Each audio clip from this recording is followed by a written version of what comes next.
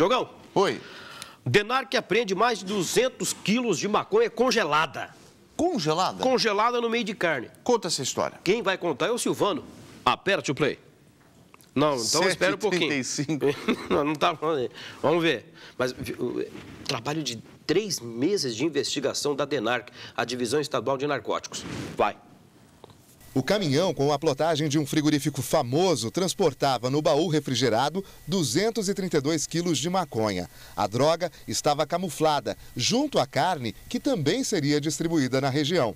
Cinco homens foram presos, acusados pelo tráfico. Os policiais da DENARC prenderam primeiro os homens que estavam no caminhão e vieram descarregar a droga em um posto de combustíveis. Em seguida, outros três foram detidos quando vieram buscar o entorpecente. Algumas semanas nós apuramos que um caminhão transportando uma quantidade significativa de droga viria para a cidade de Londrina é, nossa análise nesta manhã mostrou que esse caminhão estava chegando à cidade e parou num posto de combustível.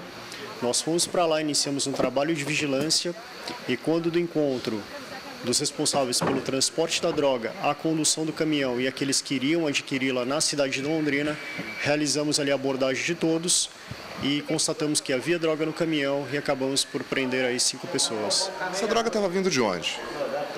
A princípio, ela estaria vindo do estado do Mato Grosso do Sul, local onde também a carga é, foi colocada no caminhão e o destino final a cidade de Londrina. Provavelmente existam mais pessoas envolvidas. Acreditamos que sim. O motorista nos disse que não sabia a quantidade certa da droga que transportava e que já pegou esse caminhão devidamente carregado. Foi colocado por outras pessoas. Então existem outros agentes associados que nós precisamos apurar e responsabilizar também pelos crimes de tráfico e associação tráfico. Recentemente, a DENARC fez uma outra grande apreensão de maconha. Fizemos na quinta-feira, é, a cidade de Rolândia, um carro que saiu da região de Mandaguaçu, região de Maringá, com destino a Londrina, e optamos ali por abordar esse veículo no posto da Polícia Rodoviária Estadual em Rolândia e havia 73 quilos também da droga maconha ocultados nesse automóvel.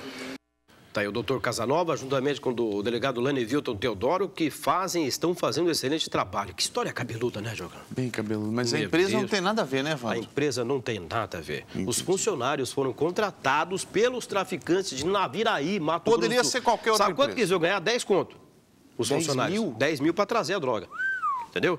Então a empresa não tem nada a ver, os funcionários que foram corrompidos, né? Para fazer isso. E poderia ser de qualquer outra Qualquer Mas outra empresa. Ah, que 7h38. história cabeluda, pelo História cabeluda.